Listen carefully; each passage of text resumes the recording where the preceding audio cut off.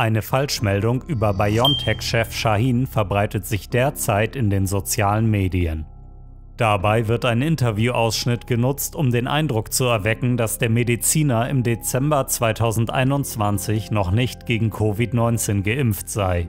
I have heard that you yourself have not taken the, uh, the vaccine yet. Why not? So I am I am uh, legally not allowed to take the vaccine at the moment. We of course consider uh, to make that possible.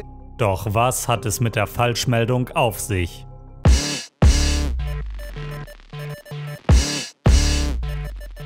Das Interview, in dem Shahin sagt, dass er noch keine Corona-Impfung erhalten habe, stammt aus dem Dezember 2020. Der Clip wird rund ein Jahr später genutzt, um andere Social-Media-Nutzer gezielt in die Irre zu führen und Falschmeldungen zu verbreiten.